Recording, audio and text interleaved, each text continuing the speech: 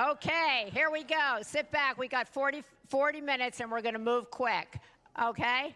So I want this to be like a kitchen table. Like just think that we're sitting around the kitchen table and we're jamming about all kinds of stuff. That's the feeling I want to have at this. This uh, is like a Kennedy family kitchen table. Yeah. most people don't have this many. That's right. It's raucous. It's it's hot, but it's fun. That's what it's going to be like. So, um, this, as I was saying before, both of you walked out. This is historic. So I hope everybody takes this in for a minute to have a leader of the Republican Party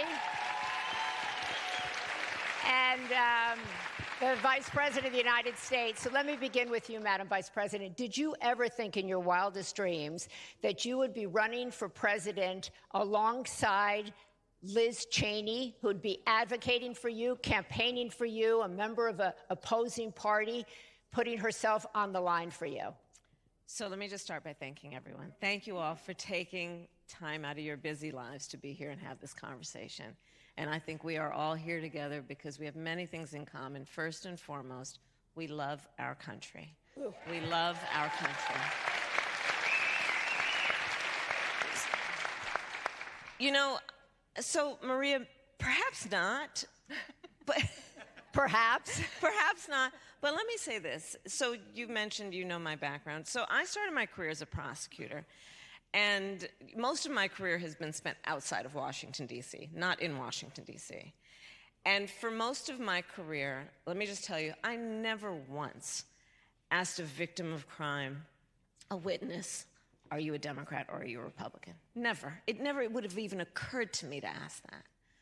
What I did ask everyone, are you okay? And when I think then about what is at stake in this election, I think that's the biggest question. And it is a moment where, born out of our love of our country, born out of, for me, having taken the oath of office to the Constitution of the United States at least six times, I believe what is at stake in this election is so fundamental for us as Americans.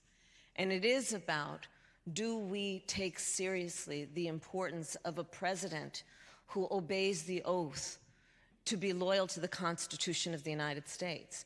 Do we prioritize a president of the United States who cares about rule of law, much less the spirit with which they approach this most powerful position? There's so much about this last era. When I talk about turn the page, that's what I'm referring to, like the last decade, that has been about some powerful forces suggesting that the measure of the strength of a leader is based on who you beat down instead of what I think most of us believe, regardless of your party affiliation, that the real measure of the strength of a leader is based on who you lift up. And and so for that reason, I'm not surprised that Liz Cheney and I are on the same stage 15 days before the election. Okay. You know? Well, maybe you're not surprised, but I'm surprised. and I think a lot of people are surprised. So I want to know are you surprised? Are you surprised that you're out here campaigning for a Democrat, campaigning for Kamala Harris against the party that you've been a part of your entire life? You know, um, what I would say, first of all, is uh, we all know, everyone who watched January 6th knows, you know, what Donald Trump is willing to do. He lost the election. He tried to overturn it and seize power. And then he sat in his dining room and he watched the attack on television. He watched it. People pleaded with him to tell the mob to leave, and he wouldn't. And he watched law enforcement officers be brutally beaten. He watched it. That's a depravity that, to me, uh, and and you know, I, I think to anyone who's taken the oath of office, makes someone absolutely unfit ever to be president again. Now.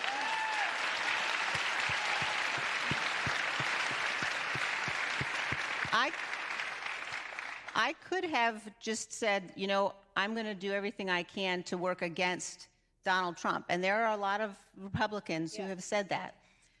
I have decided, and I am very proud and I'm honored to have made the decision to endorse Vice President Harris. And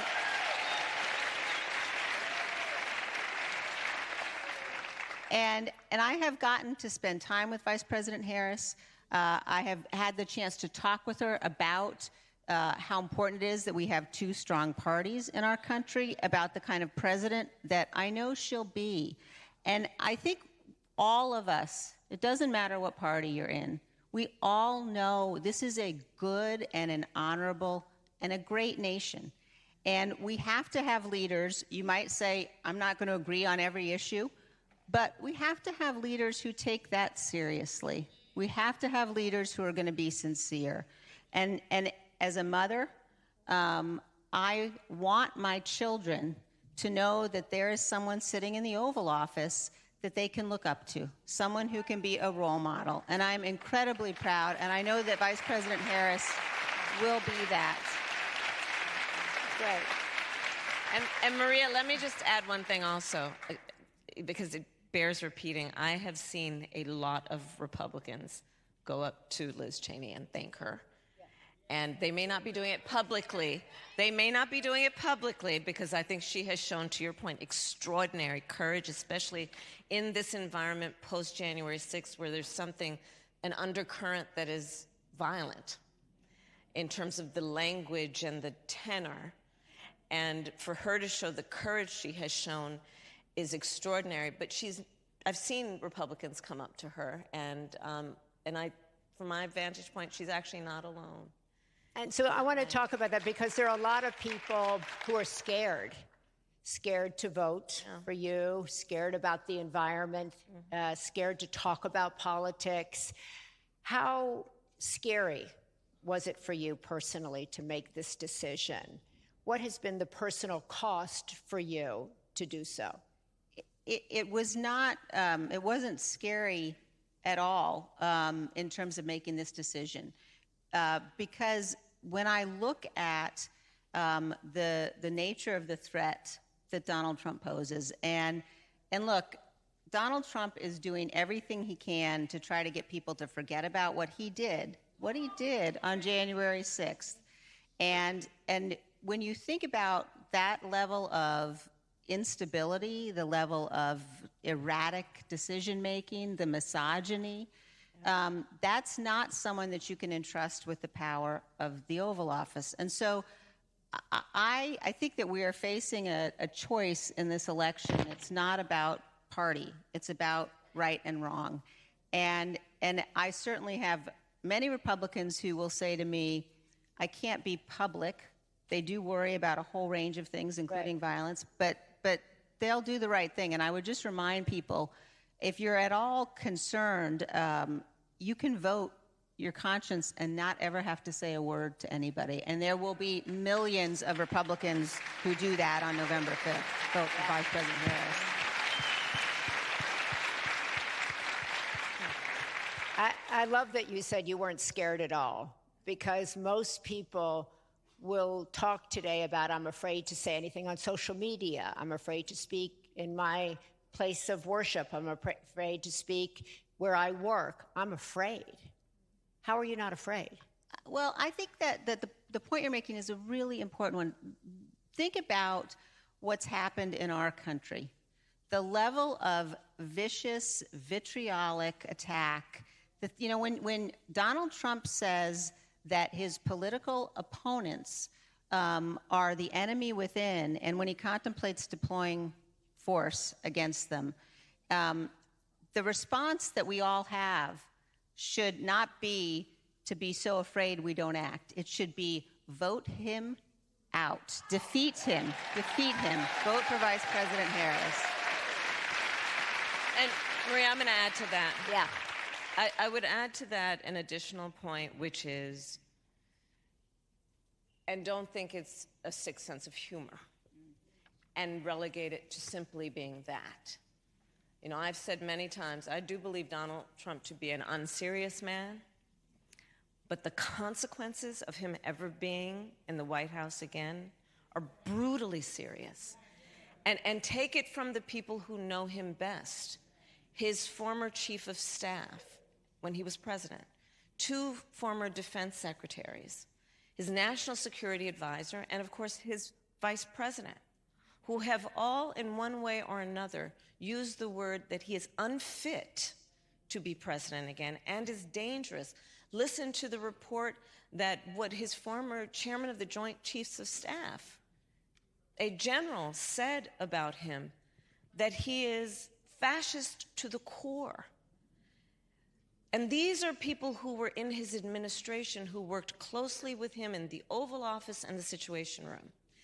And so I would caution us also to, you know, because some people find it humorous what he says and, and think it's just silly, but understand how brutally serious it is. Well, the courts will take care of that. We'll take care of November. Yes. we'll take care of November. But it is brutally serious because, to, to the Congresswoman's point, anyone has, who has openly said, as he has, that he would terminate the Constitution of the United States should never again stand behind the seal of the President of the United States. Never again.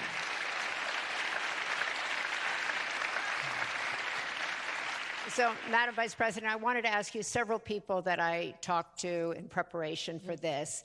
When I asked them, they said, Well, I, I want to vote for the Vice President, but I just don't feel like I know her. I don't know enough about her. I see the ads, but I don't have a feel for her. What are three things you can tell this audience about you that aren't in your ads, that people aren't telling people on the robocalls, that perhaps they just wouldn't know, that might give them a feeling for who you are as a woman? How much time do we have? We're at the kitchen I, table. I have lived a full life. I am a wife, I am a mother, I am a sister, I am a godmother, I love to cook. Um, I started my career as a prosecutor. In large part, there are many reasons, but one very fundamental is um, when I was young, one of my best friends in high school I learned was being molested by her stepfather. And I told her when I learned she had to come live with us. I talked to my mother about it. Of course, she has to come live with us, and she did. And I decided I wanted to take on a career and a life that was about protecting the most vulnerable. Uh, I served as Attorney General of California two terms. I was the, the, the top law enforcement officer of the biggest state in the country. And doing that work, it included prosecuting transnational criminal organizations for the trafficking of guns, drugs, and human beings um, I did the work of taking on the big banks during the foreclosure crisis and delivered $20 billion for homeowners who had been targeted with predatory lending practices. I took on the big pharmaceutical companies on behalf of consumers. As Vice President of the United States, my priorities have been many, um, including, to your point, the work that you and I have done over the years focusing on women's health. One of my priorities is, is has been uh, maternal mortality. Um, but I, I have only had one client in my career, the people. And my belief is that there is great nobility in public service if one understands that they hold the office in the public trust. It is not about personal power. It is about what you can do that lifts up the condition of people. And there is so much about how I think about my responsibility, and I'm here to ask for your vote. Is that I do, I intend to be a president for all Americans, understanding that the vast majority of us have so much more in common than what separates us. And this era that was kind of initiated by Donald Trump has not only been exhausting, it has been harmful to us as a nation. The notion that a president of the United States would encourage Americans to point fingers at each other, that, that, that there would be a, a, a suggestion that we are a divided country, that it, instead of knowing we have so much more in common than what separates us. I have, as vice president, met over 150 world leaders presidents, prime ministers, chancellors, and kings.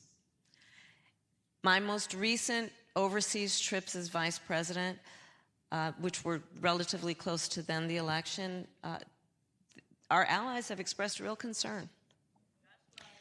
I shared this before, but you know, when we walk in a room representing the United States of America, We should walk in that room, especially leaders, chin up, shoulders back, knowing that we have the self appointed and earned authority to talk about the importance of democracy and rule of law. But the thing about being a role model, it's, this is all role models who are here. People watch what you do to see if it matches up to what you say.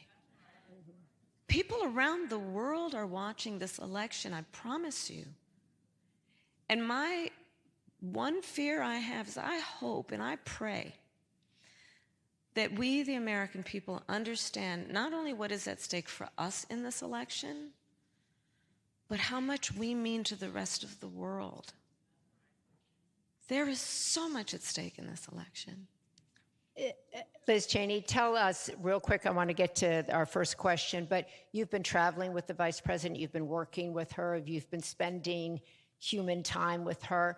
Tell the audience what you see that perhaps you know the camera doesn't get or the ads don't get, so that they can get a sense of her that you have. Well, I think that, that what I could tell you is that what the vice president is saying about wanting to be a president for all Americans, caring deeply about this country, those are things that, that come across very, very clearly and very directly. And, and look, I, I'm a conservative. The very first campaign I ever volunteered in was for President Gerald Ford in mm-hmm. 1976.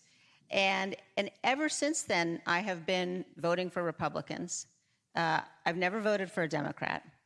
And, Wow. and so the, the, the fact that, that I, I believe so strongly um, that in this election, in this election, we need to elect the person who is the responsible adult. And, and we need.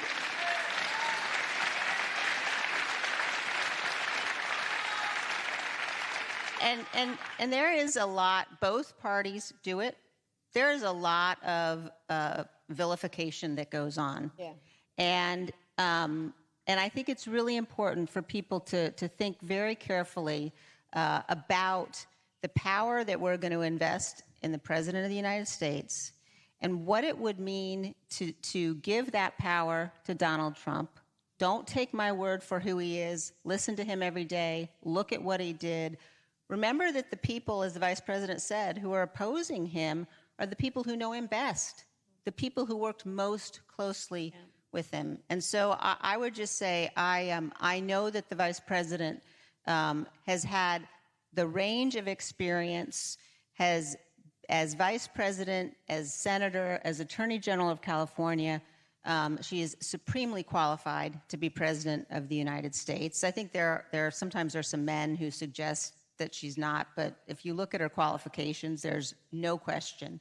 And that she's somebody that I know I can count on who will put the good of this country first. There's just no question. Okay.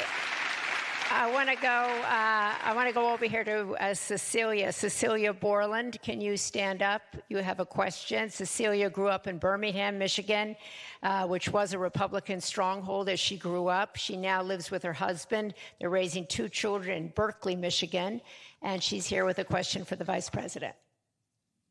Thank you both for coming to Michigan today for this important event.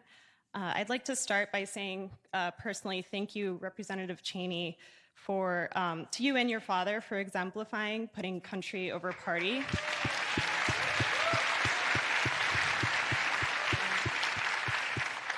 And Madam Vice President, I hope you had a wonderful birthday yesterday. Thank you. Thank you. From the shootings at Oxford High School to my alma mater, Michigan State University, to an attack at a kid's splash pad this summer, just a few miles away from here, the issue of gun violence hits very close to home for our community. Just yesterday, I learned from our school district that my preschooler will be going through his first active shooter drill this week. Yeah. As a gun violence survivor and mother of two young children, the issue of gun violence and the safety of my children in their schools and in our community is my top priority. Madam Vice President, if you are elected president and there is a Republican majority in Congress, how will you work with them to make impactful and immediate progress around gun violence, especially in our children's schools? Right. Thank you. Thank you. Cecilia. And thank you. And um, for your courage to speak up about this. So, well, we have done it actually in the last four years. We had a bipartisan group of, of folks in Congress who came together for the Safer Communities Act, which is the first meaningful piece of gun safety legislation in 30 years. And so it's a good step, and it really does tell us that we have. Um, a will within the United States Congress to work in a bipartisan way. And, and, then Congresswoman Cheney was one of those Republicans that actually voted for it. I, this is how I think of the issue, and it is through the, the lens of many experiences, including. Act, I'm so sorry about your kids going through active shooter drills. It's our kids did. It's traumatic. That our children, you know, growing up, I'll speak for myself. We had fire drills right? Our children are now learning how to keep themselves safe if there's an active shooter at their school. I did a tour last year um, of, of, colleges with college aged kids, so I also did um, some trade schools. And I would ask the room, the auditorium would be packed, college age kids, and I'd ask them, raise your hand if at any point between kindergarten and 12th grade you had to endure an active shooter drill. Almost every hand went up. Our kids are growing up where they are learning that they may be unsafe in the classroom, where they should be absorbing the wonders of the world. One kid said to me, Yeah, um, we were talking about this, and said to me, Yeah, that's why I don't like going to fifth period. I said, Why, sweetheart? Why don't you like going to fifth period? Because in that classroom, there's no closet in which to hide. So, we, when we think of this issue, we must also consider the trauma that is the trauma of the direct trauma for those who have been directly affected by gun violence, including that to our kids who are in schools across our country doing this, not to mention their teachers who want to teach and not also have to worry about will they be able to physically protect a child from a bullet? Here's how I think about it in terms of the macro point. We have been pushing as a country, I think, a false choice that suggests you're either in favor of the Second Amendment or you want to take everyone's guns away. And that's a false choice. I'm in favor of the Second Amendment. I have talked about the fact both Tim Walz and I are gun owners. I also believe we need reasonable gun safety laws assault weapons bans, red flag laws, universal background checks. And, and, and, and reports say that the majority of NRA members agree on, for example, universal background checks. What is a universal background check? It's just common sense. Here's what it is you just might want to know before someone can buy a lethal weapon whether they've been found by a court to be a danger to themselves or others. You just might want to know. It's common sense. We need common sense gun safety laws. And I will continue, I've done it throughout my career, work with all of our colleagues across the aisle. And I know that we can make progress. But this is not, I'm not trying to take anybody's guns away from them, but we need reasonable gun safety laws. Okay, I want to come back to the issue of public safety in a minute, but first we want to go to Martin. Um, thank you, Cecilia, very much uh, Martin Howrylak. He's a former Republican member of the Michigan House of Representatives, and he's here with a question about national security. Well, thank both of you for being here this afternoon. I really appreciate your coming to the state of Michigan to uh, to be here. I uh, would like to ask, what can the U.S. do politically, economically, or militarily to deter Russia from continuing its war on the independent nation of Ukraine while simultaneously strengthening our own U.S. security interests? Thank you, Martin. Go ahead. So, I was actually in Munich um, at the Munich Security Conference delivering a speech when I first met with President Zelensky of Ukraine, and it was just days before Russia invaded. I've now met with President Zelensky, I think, seven times because the United States has rightly taken a position as a leader, a global leader on international rules and norms, that we must stand in support of one of the most important international rules and norms, which is the importance of protecting sovereignty and territorial integrity, the importance of standing strong in opposition to the notion that in this case, Russia would attempt to change borders by force, to invade another nation, a sovereign nation, by force. And sadly, there is a huge difference between my opponent and me on this very fundamental issue. Back to the conversation about there was a time when we used to, there was a, a phrase that I'll paraphrase that basically politics ends at the at the at the sea line, at the at the you know at the, the boundaries of our country. That there are certain things, in particular matters of national security, where it's not about partisanship. It's about where should America stand in terms of supporting our allies and standing for certain principles. I, will give you as a as a point of reference for me in terms of how I feel about this on the partisan issue. I, for the four years that I was in the United States Senate, my favorite committee was the Senate Intelligence Committee. And I served on that committee, and we would meet in a room that's called a SCIF, and it's it's basically a it's a very secure room. No press, with all due respect, is allowed in. No cameras. Everyone has to leave their cell phone outside. It's a bipartisan committee, and we would go in that room and receive classified information from America's intelligence community, sometimes our military leaders, about hotspots around the world and threats to our national security.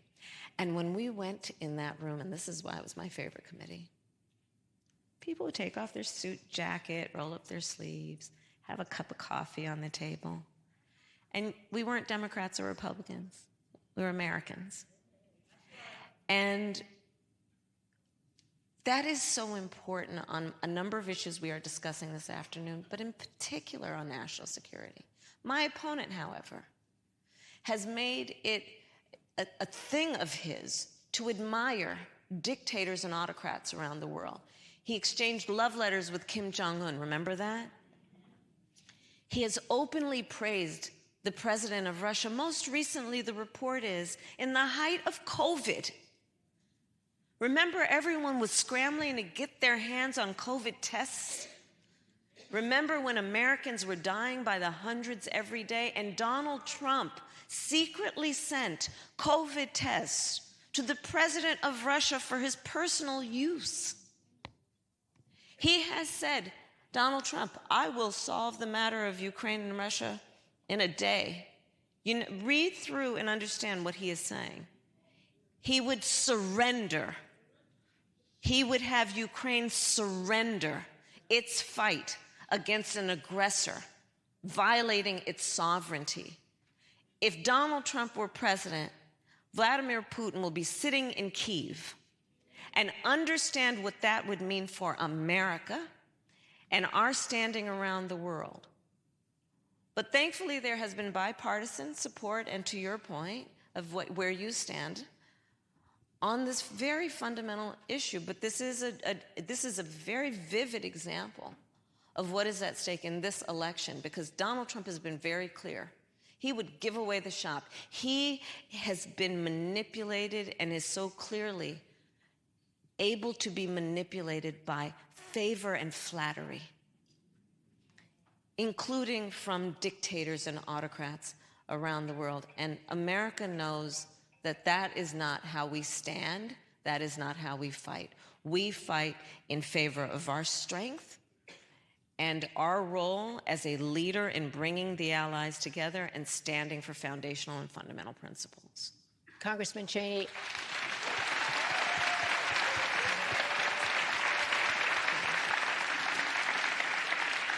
I know kind of the issue of national security is one of the big reasons you're here and supporting um, the vice president. Can you expand on that answer and add your thoughts to it? Yeah, you know, I think that if, if you look at where the Republican Party is today, there's been um, a really dangerous embrace of, uh, of isolationism, yeah. uh, a dangerous embrace of tyrants. Uh, the president, um, you know, even just today, um, he heaps praise on the world's most evil people um, while he attacks you know, with venom his political opponents here at home. And, you know, the, the, the reality is that since the end of World War II, um, America has led, and we've led, uh, and that has been necessary to defend our freedom. And we can't do it by ourselves, though. We need our allies. And when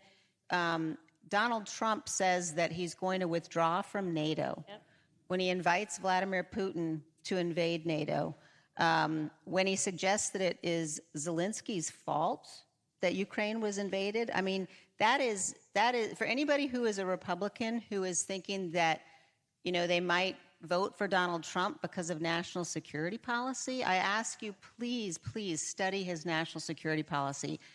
Not only is it not Republican, it's dangerous. And without allies, um, uh, America will find our very freedom and security challenged and threatened. And um, one final point on this don't think that Congress can stop him. People say, well, you know what, he, he can't really do the worst, you know, because Congress will step in. All he has to do is what he's doing, is say, I won't fulfill our NATO treaty obligations. And, and NATO begins to unravel. So um, it, is, it is an incredibly dangerous thing uh, to think about uh, a foreign policy, a national security policy led by somebody who is, is as unstable as Donald Trump is. And it, it's a risk we just simply can't take as a nation. And I'm going to add for emphasis that let's also be clear about on the subject specifically of Ukraine. Donald Trump's approach would be to surrender. Understand what that would mean. That is signaling to the president of Russia he can get away with what he has done. Understand, look at the map. Poland would be next. NATO, our allies, are the reason that they have been so thankful for the position of strength we have taken in bringing the allies together, is because they are fully aware of and remember, to the Congresswoman's point, World War II. Remember, this, this concept of isolation, we were once there as a nation, and then Pearl Harbor happened. Let's remember recent history. Europe remembers it well. We, then when we got attacked, Pearl Harbor, we jumped in. And it is because America jumped in that we were ultimately able to win that war. And it should be a constant reminder to us we have to remember history that isolationism, which is exactly what Donald Trump is pushing, pull out of NATO, abandon our friends, Isolationism is not insulation. It is not insulation. It will not insulate us from harm in terms of our national security. So I say that to emphasize a, a, point that the Congresswoman made. And the other point I'd make is also check out where he's been on how he thinks about America's military and service members one of the great, great American heroes of prisoner of war, John McCain. Remember how he talked about John McCain? He said he didn't like him because he got caught. You look, he's called members of our military suckers and losers. And then look at how some of the highest ranking members of our military, including what I mentioned earlier, the chairman, the former chairman of the Joint Chiefs of Staff, a dedicated member, leader in, our, in America's military, how he has assessed Donald Trump. Fascism to his core. So, there are your talking are. points for the kitchen table. Um, our final question is from Courtney. Courtney, can you stand? Courtney is Courtney Cabrera Agruza is a wife, a mom, an attorney and she's a proud Chaldean, and she is here with a question. Courtney. Thank you so much. Uh, good evening, uh, Madam Vice President Harris and Representative Cheney. Uh, my name is Courtney Kabara Agrusa, and I am a first generation Chaldean American. Chaldeans are indigenous Iraqis who are Catholic, and um, we are predominantly in the Metro Detroit area. Uh, Chaldeans are a very close knit community, but the recent political climate has really begun to divide us. Mm. While I know that you have discussed several bipartisan proposals over the course of your campaign, what would you say to people like myself who are part of these traditionally conservative communities who want to move forward but are feeling the, prof- the pressures of the political uh, divide? Thank you. And I've actually met with, with members and leaders in the Chaldean community, and thank you for being here. You know, I think that there is something at stake that is about core values as well as what is at stake in terms of the risk and the danger. And I would offer you an example of what I think would be um, an important issue that would affect the Chaldean community and all Americans. Um, for example, the issue of, of, of how we think about healthcare in America. So I know enough about the culture and to know that it is reflective of who we are as Americans in general. We respect our elders, we take care of them. So I will share with you a specific proposal that is an extension of how I think about things. Um, I actually, personal story, I, um, I took care of my mother when she was sick. And for anyone taking care of or who has taken care of an elder relative, you know what that is. It's about trying to cook something they feel like eating. It is trying to find clothes that don't irritate their skin or help them put on a sweater. Um, it's about trying to figure out something you can say that will bring a smile to their face or make them laugh. It's about dignity. And we now have, in particular in our country, a lot of people doing that and also raising young kids. We call them the sandwich generation, right in the middle. It's a lot. And the way the system currently works, well, God willing, you may have enough resources, you can hire somebody to come in and help. If not, you may have to spend down all of your savings to be able to qualify for Medicaid. Or you may have to quit your job to be able to do what you need to do to take care of your children and take care of your, rel- your older relative. That's just not right and it's not fair. So, part of my proposal and the plan is that we're going to now reconfigure so that Medicare covers home health care for our seniors, right? It's about dignity. So, in addition to everything that we've discussed already about national security, what is at stake? Something like this, because I absolutely do believe America is ready for a new generation of leadership that is taking on issues clear eyed about what is going on that affects everybody, doesn't matter their political party. Um, issues that are fundamentally about dignity, also about economic issues, and taking it on in a way that we relieve the American people of the burdens that get in the way of productivity and a certain quality of life. And this is one example of that. I believe we need to have an economy that I call an opportunity economy, where everyone has the opportunity to thrive, not just get by, but get ahead. And this is one example I would offer under a, the broader point, which is about let's move forward taking on problems from a common sense approach that is about just practical work. Look, I am a capitalist, I am a pragmatic capitalist. I will work as I have with the private sector. I believe we have to invest in America's economy and America's industry and America's entrepreneurs. And we can at the same time take care of those that are the most in need of just a little support to be able to not just get by, but get ahead. Thank you, Courtney.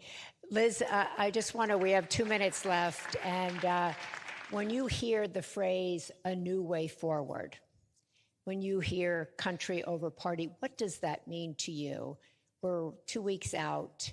What does a new way forward mean for families like everybody here, for your children, my children, everybody's children, young men? Yeah, Um, you what know, is it I- like? I think that um, you know we're we're at a moment now where when you think about America and and the the beacon of hope that we have been for so many years for so many communities, also how tremendously enriched we have been by uh, communities, immigrants who want to come here and build a life. All of that depends upon fundamentally defending the rule of law, fundamentally defending our Constitution. That's, that's what makes all of our opportunity and our freedom possible. And, and at the same time that, that we're that beacon for the world, you know, it's also because, because we're a good nation. Yeah. And because, you know, when, when, you, when you look at who our leader is going to be, um, what, what Donald Trump represents is, is um, in many ways just cruel um, and, and not, um, not the kind of dignity and, and the, the kind of person that, that we all want to be able to look up to. But, but what I would say is that if people are uncertain, um, if people are thinking, well, you know, I'm a conservative, I don't know that I can support Vice President Harris, I would say, I don't know if anybody's more conservative than I am. and, and, and I understand the most conservative value there is is to defend the Constitution. And if we don't come together to do that, then. Um, and so, uh, just to, to finish that, I would say to me, a new way forward is this it's what you're seeing up here. It's having a president who will listen, having a president who will say, I'm not, you know, necessarily sure I agree with you on this issue or that issue, but let's talk about it. Why do you want, you know, that policy? Why do you believe that? Uh, someone who is willing to honor and respect all perspectives and points of views. And there's only one candidate in this race who does that, and that's Vice President Harris.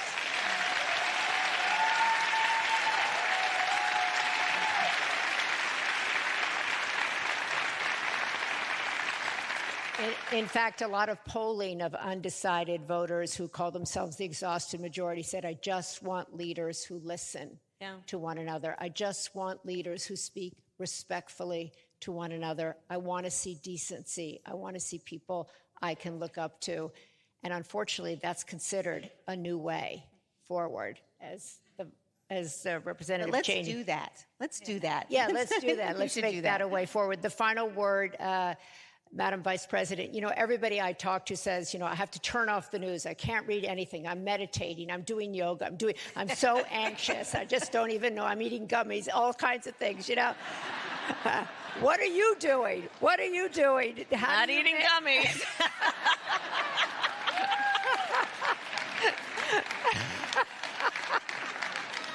okay, we got that clear.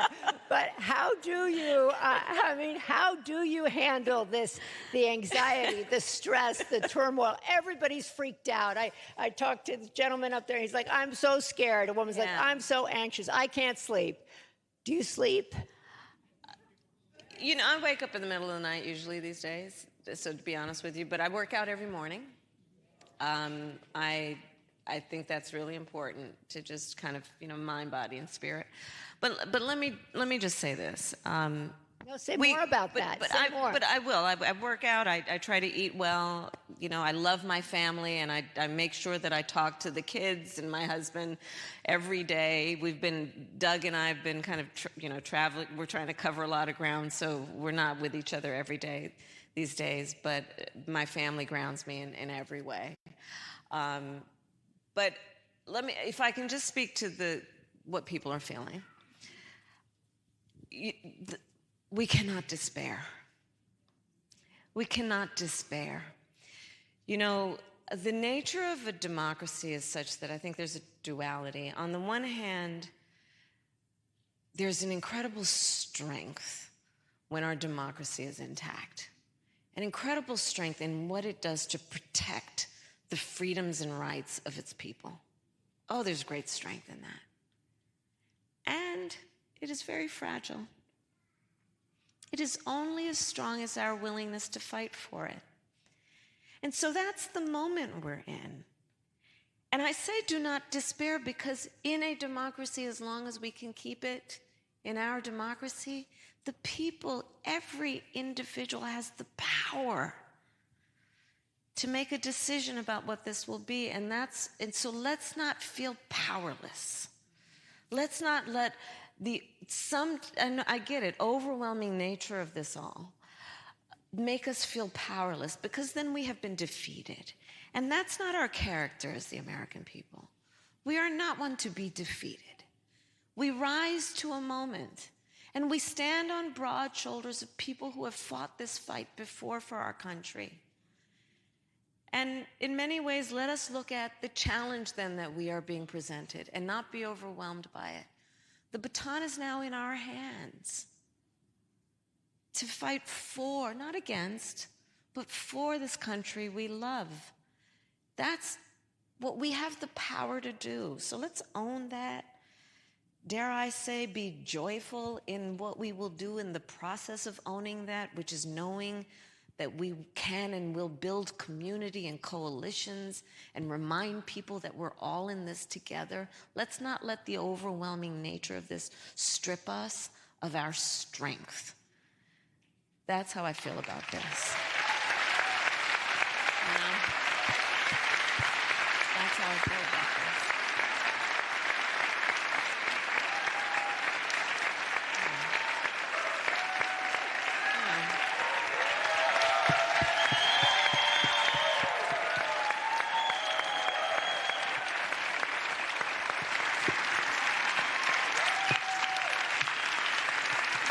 So I want to uh, I want to thank everybody here. You heard from the Vice President, from Congresswoman Cheney. Do not despair. I think you got a great glimpse into who this woman is, who this woman is, what brings them together, why they're here, why they want to earn your vote, why they wanted to speak with you today. And I want to leave you with this quote uh, from Ralph Waldo Emerson that I think speaks to this moment. It says, Whatever course you decide upon, there is always someone to tell you that you're wrong. There are always difficulties arising which tempt you to believe that your critics are right. To map out a course of action and follow it to the end requires great courage. So I leave you with that. All of you are courageous people. Do not despair. Thank you so much for spending your time. Bravo.